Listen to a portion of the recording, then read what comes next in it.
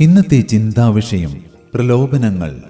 അന്ന് നീ സാഷ്ടാംഗം പ്രണമിച്ച് എന്നെ ആരാധിച്ചാൽ ലോകത്തിലെ എല്ലാ രാജ്യങ്ങളും അവയുടെ മഹത്വവും ഞാൻ നിനക്ക് നൽകും എന്ന പൈശാചിക പ്രലോഭനത്തെ നിന്റെ ദൈവമായ കർത്താവിനെ നമസ്കരിച്ച് അവനെ മാത്രമേ ആരാധിക്കാവൂ എന്ന വചനത്തിലൂടെ യേശു അതിജീവിച്ചു. എന്നാൽ പിന്നീട് അഞ്ചപ്പവും രണ്ടു മീനും കൊണ്ട് അയ്യായിരത്തെ പോഷിപ്പിച്ചപ്പോൾ ജനങ്ങൾ തന്നെ പിടിച്ച് രാജാവാക്കുവാൻ ഭാവിക്കുന്നു എന്നറിഞ്ഞപ്പോൾ യേശു പിന്നെയും തനിച്ച് മലയിലേക്ക് വാങ്ങിപ്പോകുന്നത് നമ്മൾ കാണുന്നു.